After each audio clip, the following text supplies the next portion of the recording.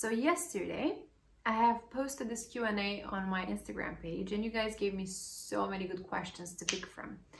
And I have chosen some of my favorite ones. Um, so someone asks, how much math is required to master machine learning? Well, first of all, I'm not a master in machine learning and anyone who says they are, they either lying or they don't really see the potential in it. But if you're a beginner, I would say start learning uh, linear algebra and stick to principles like um, principal component analysis or and the composition of a matrix. You will see later on that when you think about machine learning, you're actually thinking about algorithms. And those algorithms are going to involve a lot of matrices when you're handling the data. This is why it's important to know linear algebra. And then I would say continue with the probability theories and um, statistics.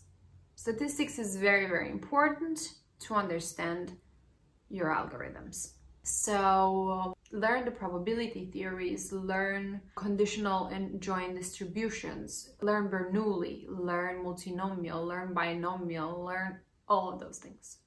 I know that sounds like a lot of information, but people learn this over a lot of years. So don't get discouraged if there's a lot of things that you don't understand. Everything will fall into place at the right time.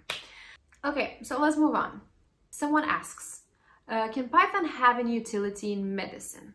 Well, you see, this is a very good question because when people are talking about artificial intelligence, um, they think about crazy stuff like robots uh, doing stuff on the assembly line or trucks driving themselves. And I do believe that the white collar jobs like lawyers and doctors would be the first jobs to go um, because this is how coding works actually.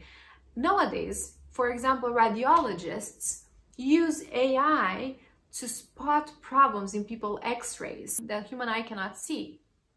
And I heard and I believe that going to nursing school is actually a much better choice than going to the medical school because uh, basically a doctor's job is to spot patterns while a nurse's job is to keep the human interaction.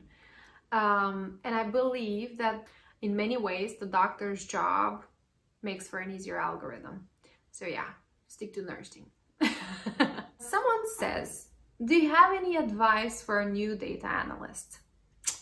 Well, my friend, when you go into a job, you have to focus on understanding your client's business. You cannot go around solving problems if you don't know what you're dealing with. You need to know their competitors, you need to look at their data with a critical eye, look at the variables they're having, look at the variables they think might be useful. So basically, don't go around trying to solve something you don't know much about. Just learn as much as you can and then go on to solving. Well, I hope that answered your question. Can you suggest any data science course? Well, to be honest, I haven't really checked it out, but I do believe there's some courses on Udemy out there. But I do know that soon I'm going to be coming up with my own data science beginners course and uh, stay tuned for that. But how about, in the meantime, you keep learning on here with me because we're on this journey together. okay, guys, I really hope this has answered your questions or have made you more clear on the questions that you've already had. There's some really great ones out here and I'm pretty sure I'm gonna have to do another one of these soon.